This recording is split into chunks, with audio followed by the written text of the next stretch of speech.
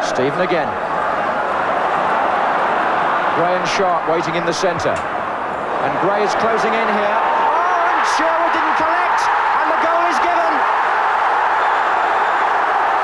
The challenge of Gray, too much for the goalkeeper. And Everton are 2-0 in the lead. And Sherwood disappointed. Gray and Everton ecstatic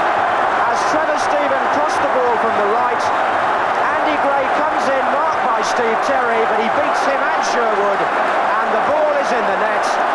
And Merseyside, the Evertonians, are celebrating their second goal.